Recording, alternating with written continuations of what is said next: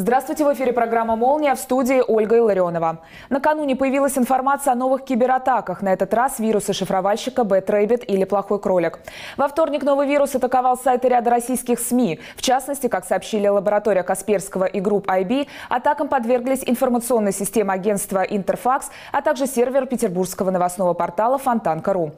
Вирус пытался атаковать и российские банки из топ-20, однако ему это не удалось. Лаборатория Касперского сообщила, что похожие атаки наблюдаются на Украине, в Турции и Германии, хотя и в значительно меньшем количестве. По данным группы IB, атаки начались после полудня. Накануне на Украине вирус поразил компьютерные сети Киевского метрополитена, Министерства инфраструктуры Международного аэропорта Одессы. Лаборатория Касперского отмечала, что хакеры используют методы, похожие на те, что наблюдались в атаке вируса Петя в июне 2017 года года. Однако подтвердить связь двух вирусов пока не может. Минувшие выходные в Италии прошел референдум об автономии. Он показал, что в северных итальянских областях Венета и Ломбардия львиная доля населения являются сторонниками независимости данных регионов. Так, более 98% проголосовавших в Венете и 95% в Ломбардии высказались за расширение автономных полномочий региональных властей. Явка в первой области составила около 60%, во второй, где впервые в Италии применилось электронное голосование, к урнам пришли около 40% избирателей. Как указал ранее губернатор Венета, э, его регион намерен добиваться от правительства передачи компетенции во всех 23 сферах – от образования и здравоохранения до транспорта и охраны окружающей среды. Агитационный поезд ЛДПР продолжает путешествие по стране. Спецсостав проехал Владимирскую, Нижегородскую, Кировскую области, Удмуртию, Пермский край, Свердловскую, Тюменскую области. Накануне прибыл в Ханты-Мансийский автономный округ Югру. На каждой остановке жители приветствовали команду агитсостава, депутатов ЛДПР, юристов, специалистов центрального аппарата партии. Больше всего жители округа жаловались на проблемы, связанные с жильем, на нехватку парковок у поликлиник и во дворах, а также на переполненность школ. Со всеми проблем, проблемными вопросами жители Югры команда Агитпоста пообещала разобраться и их решить. Владимир Жириновский посетил премьерный показ э, фильма режиссера Алексея Учителя «Матильда», состоявшийся накануне в Москве. Председатель ЛДПР поделился своим мнением по поводу нашумевшей картины, предложив сторонникам и противникам «Матильды» выяснять отношения цивилизованно, организовав совместный круглый стол. Требовать, чтобы «Матильду» запретили к показу, нельзя, убежден Владимир Жириновский. Здесь нужна дискуссия, каждый пусть сам решает, смотреть ему фильм или нет, отметил лидер ЛДПР. Подробнее комментарий Владимира Жириновского – Смотрите далее. Ну, нельзя не высказать свою позицию по премьере фильма «Матильда». Целый год был такой ажиотаж, шум. Группа депутатов посмотрели вчера. Ну, по художественным таким параметрам очень красивый фильм. Такие сцены хорошие, музыка, костюмы, это все хорошо. Но подбор актеров, это как вот футбольные команды наберут легионеров, и это же не достижение нашего спорта, а самородки из чужих стран. А здесь даже не самородки, просто взяли, немец играет Николая II, еще ряд актеров. Это зачем? У нас их огромное количество наших актеров. В этом смысле непонятно. Потом не, нету соответствия. Этот немецкий актер очень высокого роста. Николай II был намного ниже. И для его отца Александра III можно было подобрать, может быть, не Гармаш бы сыграл эту роль, другой, более похожий. Так сказать, же история нашей страны. Ну, никаких там сцен, сюжетов, чтобы это оскорбляло чьи-то чувства, я, мы не нашли. Если бы не было этого ажиотажа, то на него бы пошло очень мало зрителей, как на Анну Каренину Карен Шахназаров сделал, она прошла по экранам, никто не заметил. Был фильм, нету фильма. То есть в обычном режиме этот фильм прошел бы. Те, кто пытались сорвать его, так сказать, выход на широкий экран, они просчитались. Они через черный пиар дали бешеную рекламу и больше ничего. При подходе к кинотеатру все ожидали каких-то провокаций, ничего не было. Актуальные темы обсудим с гостем в студии Сергеем Яковлевым, адвокатом-активистом ЛДПР. Сергей, добрый день. Здравствуйте, Ольга. А, предлагаю начать э, с такой громкой темы, с премьеры э, вчера в кинотеатре «Октябрь» фильма э, «Матильда». Ажиотаж, конечно, был огромный, год велись споры. В принципе, никто не видел картину, только трейлер, но споры были колоссальные. Э, как вы оцениваете всю эту ситуацию? Ну, э, я считаю, вы знаете, Владимир Вольфович абсолютно правильно дал оценку этого фильма. Э, действительно, фильм красивый. Я смотрел только трейлер. Меня возмутило, знаете что? Что когда я пытался купить в интернете билеты в кинотеатр «Иллюзион», у меня это не получилось в электронном виде. На другие фильмы, пожалуйста. Вот на «Матильду» нет. Правда, это было достаточно давно, недели две или три назад, когда только вот было заявлено в афише этот uh-huh. фильм. Вот. Но, тем не менее, я считаю, что вот э, здесь э, совершенно э, вы понимаете, в чем дело? Когда раздувается шумиха вокруг какого-то фильма, вокруг какого-то произведения искусства, неважно, что говорят, главное, чтобы говорили. Э, поэтому э, наши борцы э, за чувство верующих, и в частности православных, должны трижды подумать, прежде чем раздувать скандал на пустом месте. Вообще вот с правовой точки зрения я хочу сказать, что это очень опасный на самом деле закон о защите чувств верующих, потому что мы живем в многоконфессиональной стране. У нас живут и православные, и мусульмане, и иудеи, и католики, и э, вообще атеисты. Извините меня, 70 лет советская власть э, выжигала э, любое упоминание, скажем так, о э, христианской вере и вообще о религии. И каким образом у нас достаточно много людей просто неверующих. А кто защищает их чувства? Понимаете как? То есть э, дело в том, что э, я считаю, что применительная практика вот этого закона, она немножечко хромает. Э, в том плане, что да, когда э, человек э, врывается э, в религиозное место и начинает там пропаганду каких-то своих идей, нарушая службу, нарушая какие-то каноны религиозные и действительно э, возмущение вызывая у верующих, то, несомненно, э, ну, необходимо применять законодательство. Но когда это художественное произведение, когда это просто информация, это видение художника, вот он так видит, и вообще это художественный вымысел. Так можно тоже сказать, это не документальное кино. Э, поэтому, если кого-то что-то оскорбляет, ты имеешь право выключить кнопку на телевизоре и не смотреть. Ты имеешь право не покупать билет и не ходить.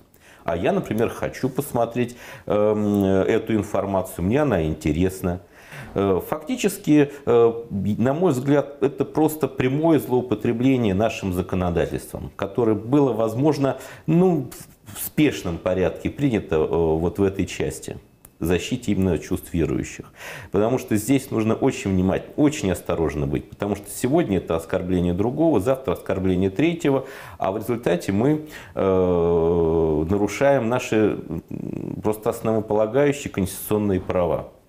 Понимаете, право на получение информации, право на свободу слова. То есть это ну, недопустимо, мне кажется, в демократическом э, государстве, таком, которым является Российская Федерация. Проблема в том, что, понимаете, мы только строим наше гражданское общество. Оно, конечно же, во многом несовершенно. А, что такое был Советский Союз? Советский Союз это было э, равенство рабов э, под гнетом деспотии. Сейчас я могу сказать, Российская Федерация, она во многом демократичнее многих других европейских и э, вообще западных стран, в том числе Соединенных Штатов Америки. А то, что касается и вот такие вот инциденты, когда вдруг кто-то из депутатов Государственной Думы э, начинает э, вот такую кампанию, то у меня даже складывается такое впечатление, э, не получил ли он гонорар за свою деятельность. Но на самом деле все эти акции, э, акции протеста, наоборот, сделали огромный пиар. Конечно. Сейчас билетов Почему? вообще не достать да, на конечно, Матильду конечно. То есть вот чем, это, это проблема. То есть люди э, хотели как лучше, а получилось как всегда, или они так и хотели? Ну да, Давайте- здесь да. вопрос. Здесь э, не, не Вот. ясно как. А вот у самого Алексея Учителя, у него были вот с юридической точки зрения, были ли какие-то а, права вот защитить свой этот проект? Э, Вы знаете, э, здесь э, в чем э, слабость э, позиции господина учителя? В том, что если он, бы он снимал фильм на собственные средства или на средства каких-то спонсоров, инвесторов, это была бы одна э, сторона вопроса. Он все-таки получил государственные деньги, я сейчас не помню какую сумму, э, ну там, по-моему, больше 200 там, Да, 280 миллионов. да, и, соответственно, знаете, тот, кто платит, тот и заказывает музыку. И, соответственно, если бы ему дали, дал деньги частный инвестор, то он бы держал просто господина учителя за горло и диктовал ему, что ему сделать и как ему сделать. Возможно, если наши какие-то государственные структуры, э, э, менеджеры от нашего государственного кино э, хотят, ну, что ли, скажем, имеют позицию, потому что они хотят увидеть, они должны просто больше контролировать художника в процессе его работы, а не махать кулаками, когда поезд уже ушел, когда кино снято и когда люди хотят его посмотреть. А как вы относитесь к тому, вот отметил э, Владимир Вольфович, что э, историю э, России, да, вот какой-то отрывок этой истории играют иностранные актеры? Вот вы знаете как, русскую душу иностранец не может реализовать на экране телевизора, каким бы талантливым актером он не был. А, Другое дело, что э, известные фамилии актеров, э, они, возможно, если этот фильм предполагается показывать не только в Российской Федерации, но и в других странах, они, конечно, там привлекут э, зрителя. Вот с этой точки зрения, да, это возможно. Э, Такая вот мысль у режиссера была, такая задумка. Ну, как вам сказать, э, нельзя указывать художнику, нельзя указывать художнику, какими красками ему написать картину. Мы можем только высказать свое мнение и пожелания. Я полностью согласен с Владимиром Вольфовичем Жириновским, потому что он указал на, знаете, как э, стремление некоторых э, частей нашей интеллектуальной элиты, наших, нашей художественной элиты, э, больше поклоняться западным идолам, идолам и в меньшей степени чувствовать страну своим сердцем. Вот я думаю, что нужно быть патриотом. Всегда, везде и во всем. Сергей, э, мы с вами продолжим беседу сразу после короткой рекламы. Мы продолжаем прямой эфир. Я напоминаю, сегодня в студии Сергей Яковлев, адвокат, активист ЛДПР. Сергей, эм, Ксения Собчак недавно заявила о своем намерении баллотироваться на пост президента страны. И накануне провела в Москве пресс-конференцию, где сделала несколько громких таких заявлений. Ну, наверное, сначала интересно услышать ваше мнение о данной кандидатуре. Ну, Ксения Собчак, конечно, у нас молодец. Она э, имеет достаточно большой опыт э, различных медиапроектов. На мой взгляд, э, ее заявление о желании поучаствовать в президентской гонке – это очередной медиапроект Ксении Собчак. Э, Учитывая, что она уже озвучила, что руководителем предвыборного штаба будет как раз э, продюсер, по-моему, да, с- с- да, и вот об этом, ну, с этого можно было как бы начать и завершить вот этим вот. Вообще я к Ксении Анатольевне отношусь с большим уважением, надо сказать. Почему? Понимаете, в чем дело? Вот многие девушки, молодые люди приезжают из глубинки в Москву для того, чтобы сделать себе карьеру, добиться чего-то в жизни. И когда они чего-то добываются, даже не очень большого успеха, все говорят, какой он молодец. Э, Когда э, ты сын или дочь известных родителей, то твои успехи и достижения, они э, меркнут на фоне э, твоих великих родителей. А я могу сказать, что Анатолий Собчак, э, папа Ксении, это был великий человек, это человек, который сделал историю своими руками. Э, поэтому у Ксении Анатольевны достаточно тяжелая задача перед ней стояла. То есть сверкнуть звездой таким образом, чтобы ее заметили, ее блеск на фоне именно сияния Анатолия Собчака. Э, я могу сказать, во многом это у нее получилось. Какими методами и способами, об этом можно спорить. Это дело каждого. Но э, цели она добилась. Она в определен... ну, она узнаваемое лицо. Э, она э, лицо, которое интересно определенному сегменту, в том числе и молодежи. Э, но она в политике человек неискушенный и фигура очень спорная для такого серьезного мероприятия, как выборы президента. В чем проблема? Проблема в том, что вот сейчас, не являясь зарегистрированным кандидатом, она уже фактически начала предвыборную агитацию и пропаганду. Раздает интервью, э, высказывает свои э, там, первые три шага, по-моему, да, на пути угу. на э, поприще президента, которые бы она совершила. Шаги меня немножко удивляют. Во-первых, потому что я не думаю, что это самые значимые шаги для нашего общества. А во-вторых, по э, вообще, как она формулирует свои желания. Ну, я напомню, если я не ошибаюсь, это э, она распустила бы Госдуму, она бы вынесла э, тело Ленина, закрыла бы мавзолей, и какой-то там третий момент был, она раскрыла бы Кремль для широкой публики, угу. практически все, сделала бы его прозрачным. А, то есть не было бы места, как из смысла ее высказывания, куда бы не мог бы зайти человек. Но по пунктам.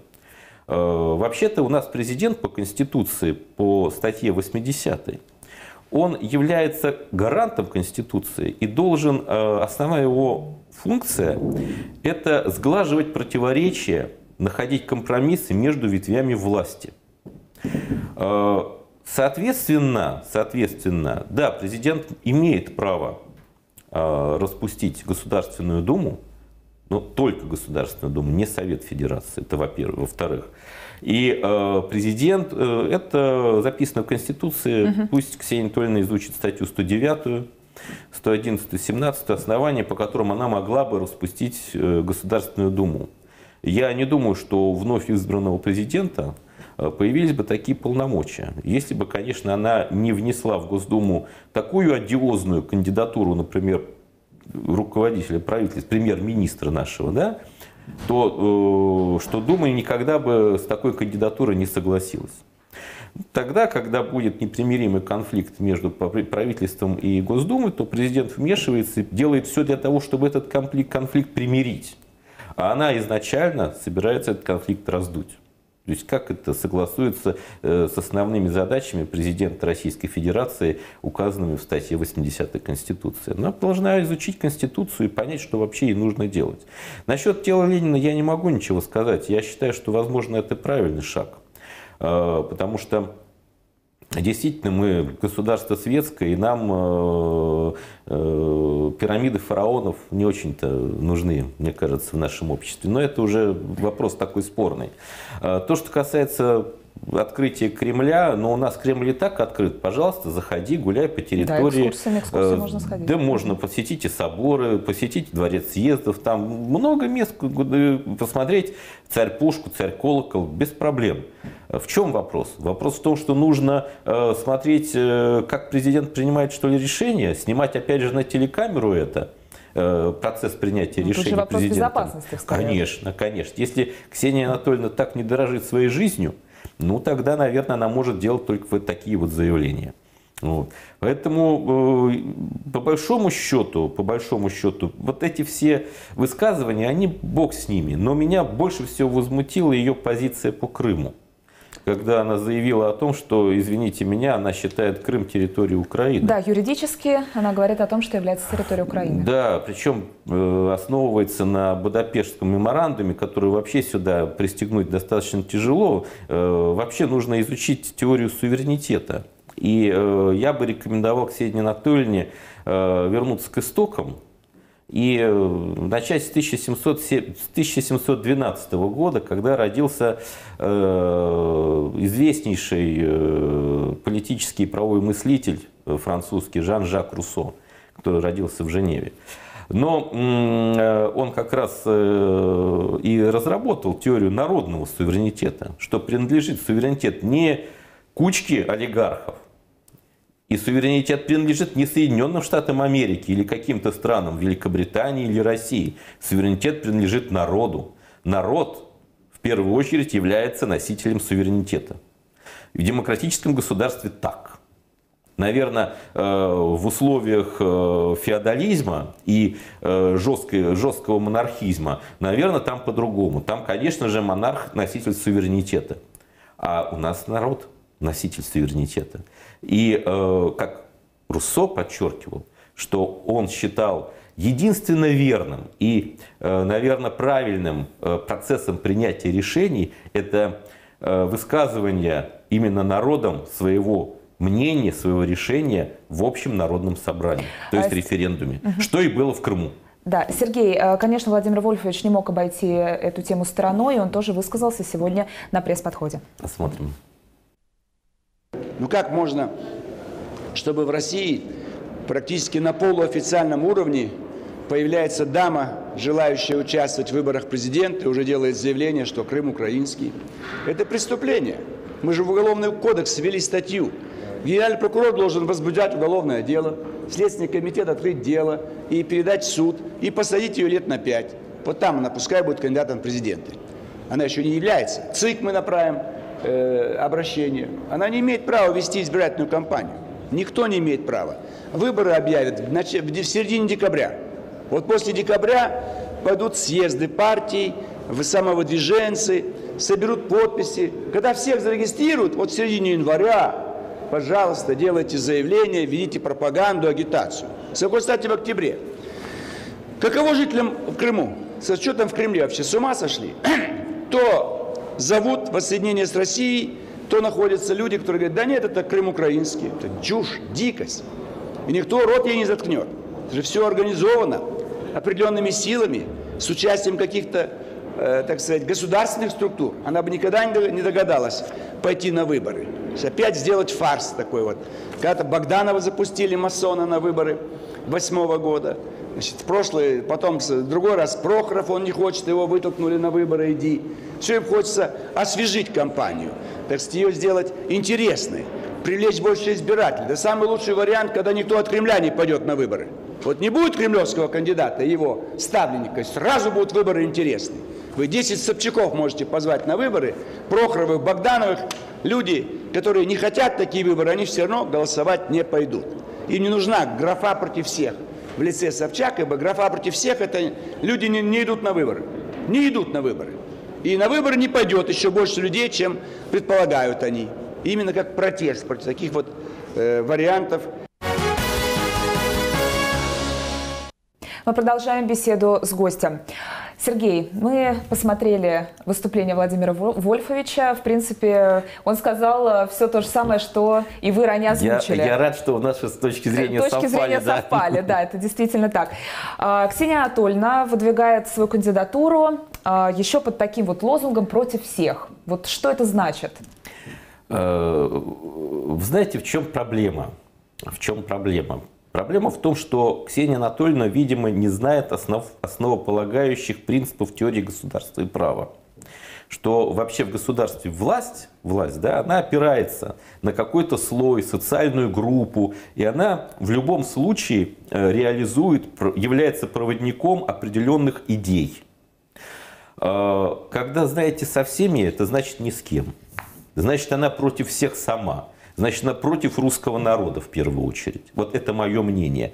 Понимаете, видимо, остатки 90-х годов у нее в голове настолько крепко сидят и настолько это вот э, базисно, фундаментально забито, что Америка это лучшая страна и демократия только там на Западе, а мы в России сермяжные, лапотные, мы должны как бы смотреть и ориентироваться на Запад, равняться.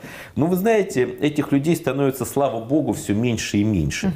И э, узок их круг, и страшно далеки они от народа. Если мы говорим э, об ее электорате, то как вы думаете? А? Конечно же, ее знает молодежь. Определенная прослойка, достаточно маргинальная прослойка девочек, мальчиков, которые, может быть, никогда на выборы не ходили, э, которые смотрят «Дом-2» или которые там вообще интересуются, вспомнят еще «Блондинку в шоколаде», то вполне возможно, что за «Блондинку в шоколаде» такие же блондинки и проголосуют. Но я не думаю, что люди, которые действительно думают о своем будущем, они э, захотят э, голосовать за человека с невнятной абсолютно программой, без каких-либо предложений по развитию, в первую очередь, экономического нашей великой страны. Сергей, я благодарю вас за интересную беседу, за ваши экспертные комментарии. Был рад с вами увидеться сегодня. В эфире была программа «Молния». Всего доброго, до свидания.